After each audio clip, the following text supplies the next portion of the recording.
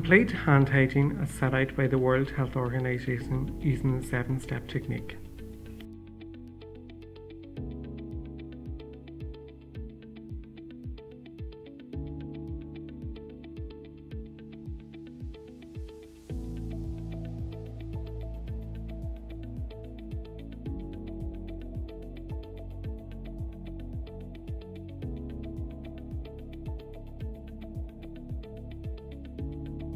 You will then begin to don your PPE. First, put on an, an, apron. Ensure the apron is placed over the head and tied at the back, and ensure the apron is folded fully outwards.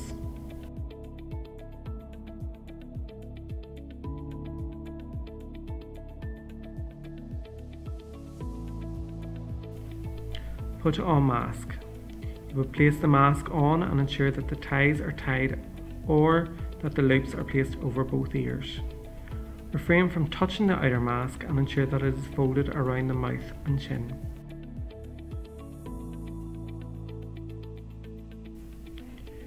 You will place your visor over your head uh, or your eye protection. Ensure not to touch the outer part of the visor. You will then don gloves. Put on non-sterile gloves to both hands.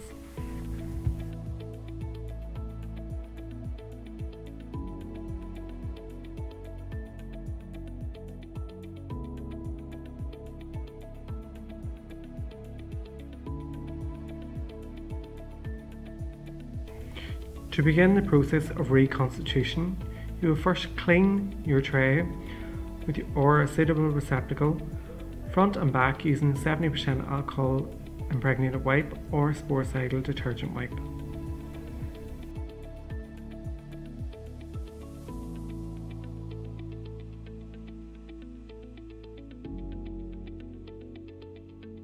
You will gather the equipment you will require, checking all packaging and expiry dates. The equipment includes the vaccine, a 2 ml syringe, green drawing up needle, 2% chlorhexidine and 70% alcohol wipe, such as a green, green Clinell wipe, and a vial of sodium chloride.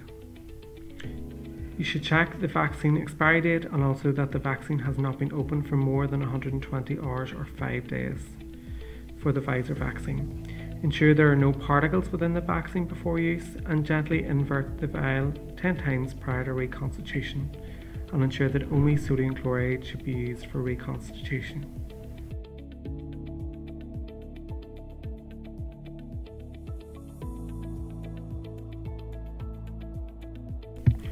Using a 2% chlorhexidine and 70% alcohol wipe, you will clean the top of the vaccine for 30 seconds and leave to air dry.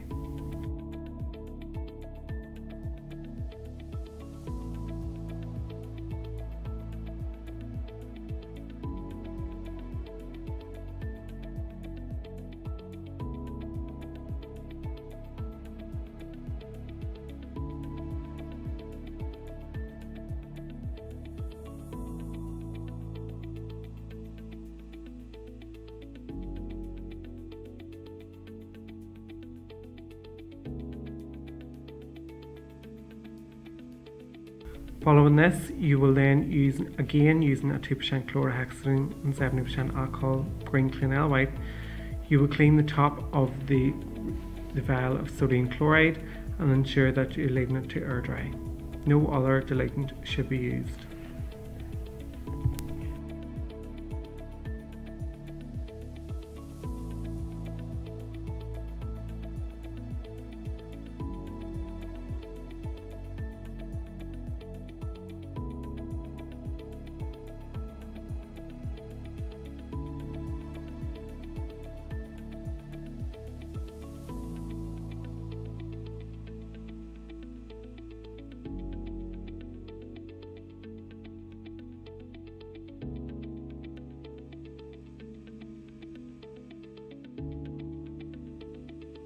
You will remove the 2 ml syringe and attach it up to the drawing up needle, ensuring you do not touch any of the key parts.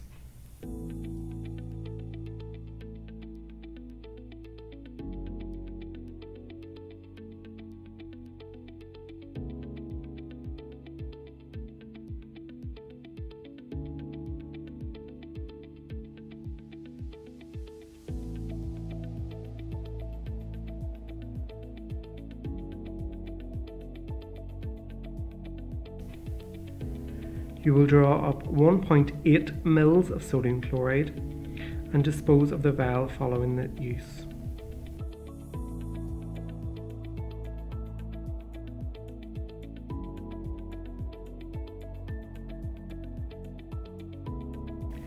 You will inject that 1.8 mils of sodium chloride into the vaccine vial. Draw back 1.8 mils of air from the Pfizer vaccine vial. This is to reduce the amount of pressure within the vial. Following this, you will dispose of all sharps in the sharps box.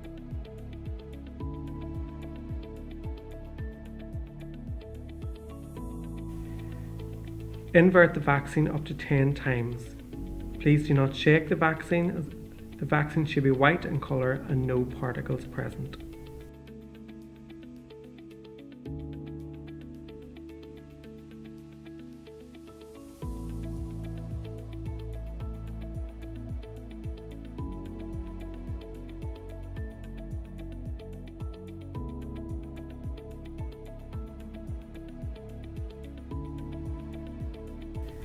You will doff PPE, taking gloves off one by one and complete hand hygiene.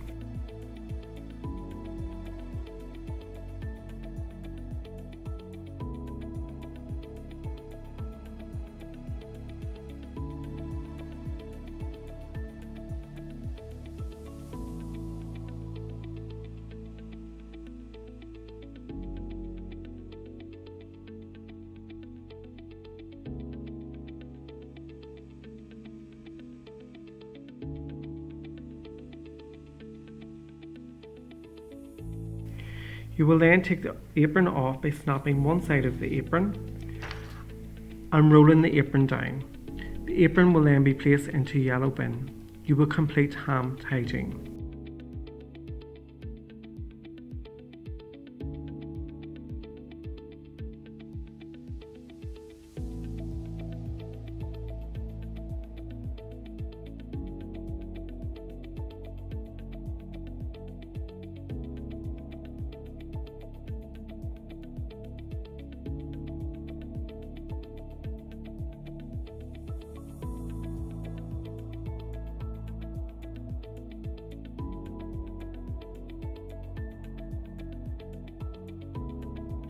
Visor then will be taken off ensuring you do not touch any of the outer layers of the visor and complete hand hygiene.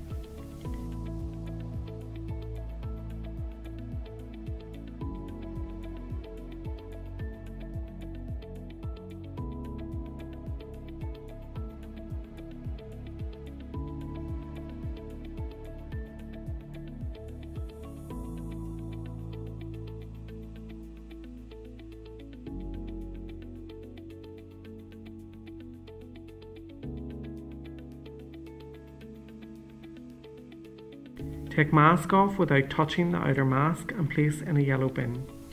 Then complete hand hygiene.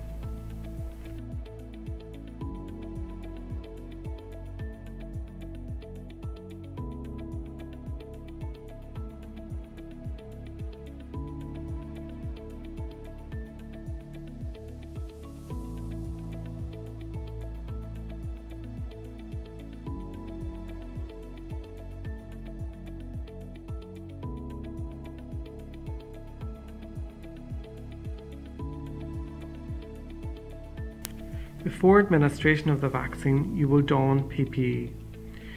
You will introduce yourself to the patient and check the patient's identification.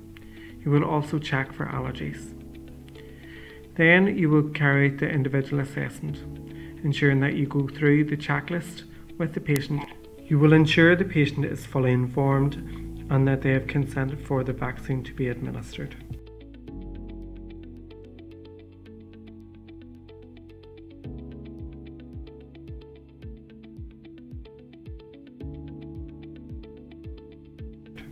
You would assess the patient's potential sites for injection, identify the location of the deltoid muscle.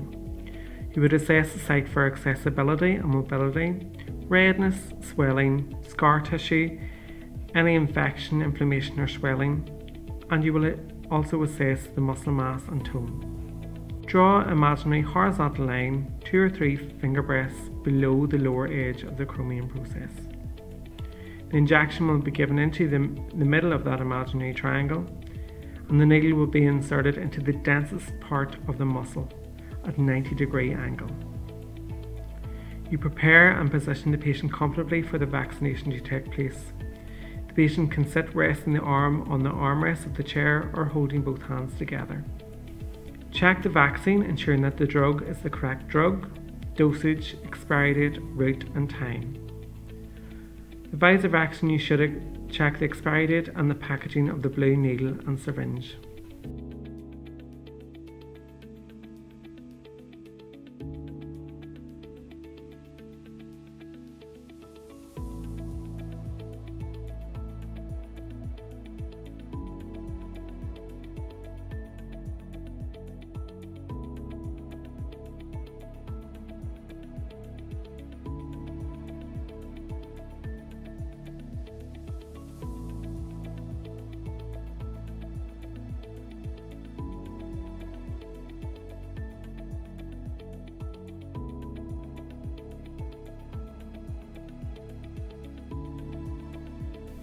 You will open and attach the blue needle to the syringe ensuring not to touch any of the key parts.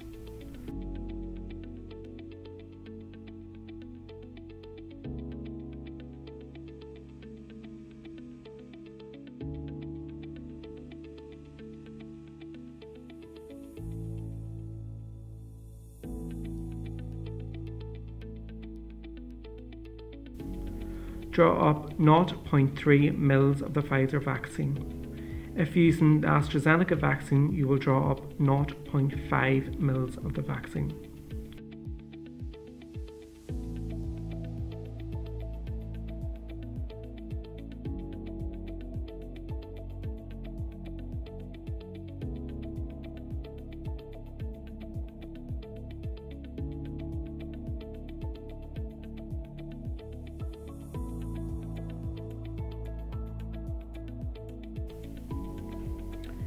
Use the Z-track with the non-dominant hand. Ensure that you pull the skin down or across to ensure the Z-track method can be used. With dominant hand, insert the needle at 90 degrees. There is no need to aspirate. Administer the 0.3 mils over 3 seconds and leave for another 3 seconds. On removal of the needle, release the skin from the Z-track and place the safety feature on the needle. You will place a gauze ball to the site.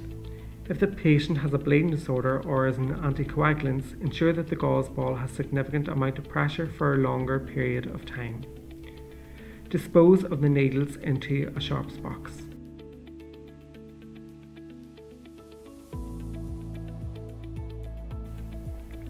You will doff PPE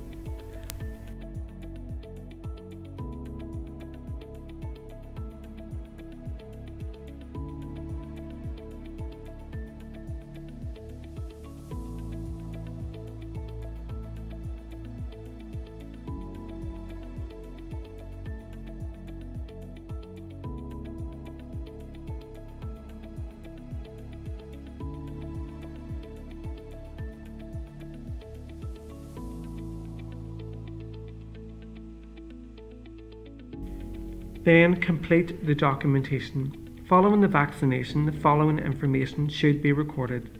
The vaccine name, product name, the batch number, expiry date, the dose administered, the date the immunisation was given, the route and the site used, and the name and the signature of the vaccinator. This information card will be given to the patient for their second vaccination. Ensure the patient is shown into the observation area to be observed for 15 minutes. Clean the seat and the vaccination area as well as completing hand hygiene. If the patient does not have sufficient muscle mass in the deltoid for the administration of the vaccine, you may use the vastus lateralis muscle.